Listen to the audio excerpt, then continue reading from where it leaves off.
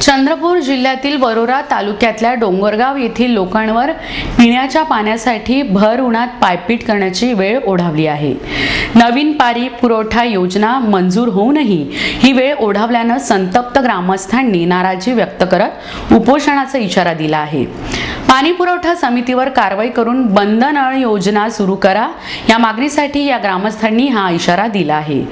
डोंगरगाव चंद्रपूर जिल्ह्याच्या वरोरा तालुक्यात येणाऱ्या या गावाची लोकसंख्या हजारोंच्या घरात आहे. त्यामुळे या गावात निर्मल भारत योजनेअंतर्गत पाणी पुरवठा योजना मंजूर झाली. या योजनेचा निधी देखील प्राप्त झाला. पण लोकांच्या घरात नळ कनेक्शन पोहोचलं नाही. निधीचा गैरवापर झाल्यानं ही योजना पूर्णपणे फसल्याचं उघड झालं. यानंतर परत राष्ट्रीय पेयजल योजनेअंतर्गत पंचावन्न लाखांची नवीन पाणी पुरवठा योजना मंजूर झाली. तरी पण घरगुती नळ कनेक्शन उपलब्ध न झाल्यामुळं या ही निधीचा दुरुपयोग झाल्याची बोंब गावात आहे. एकंदरीत गावात नव्वद लाखांची पाणी पुरवठा योजना पोहोचली. पण या निधीचा योग्य उपयोग न झाल्यानं या गावात पिण्याच्या व वापराच्या पाण्याची भीषण टंचाई आहे. गावात नळ तर आहेत परंतु गेल्या पाच महिन्यांपासून हे नळ शोभेची वस्तू म्हणून उभी आहेत.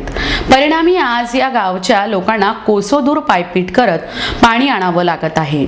ऐन उन्हाळ्यात या समस्येचा सामना करावा लागत असल्यानं या गावच्या लोकांमध्ये असंतोष पसरला आहे.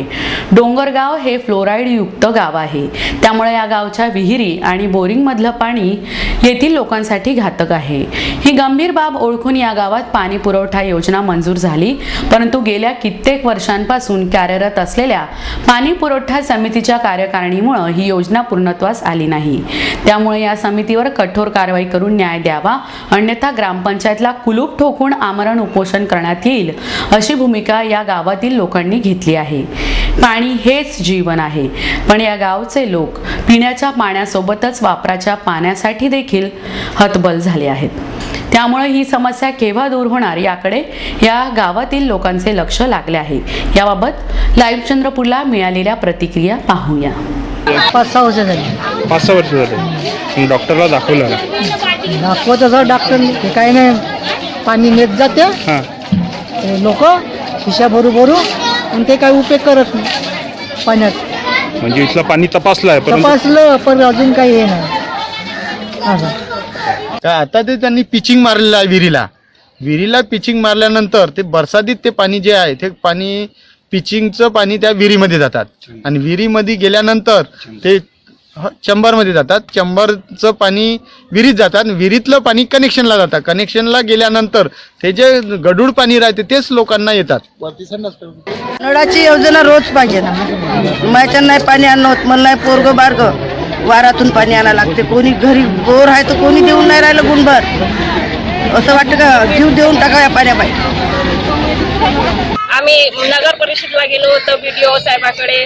सभापती सभापती स- सगळीकडे ओ साहेब. चंद्रपूरला गेलतो जिल्हाधिकाऱ्याकडे शिओकडे कलेक्टरकडे निवेदन दिलं पण काहीच कोणी तक्रार आमची काही मंजूर करत नाही ना घेतली नाही.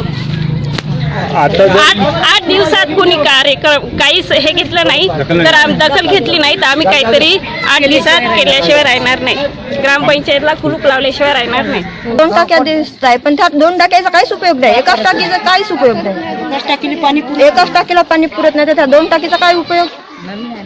बोर पण दिसतं गावामध्ये. बोर दिसत आहे पण त्या बोरला पाणी नाही.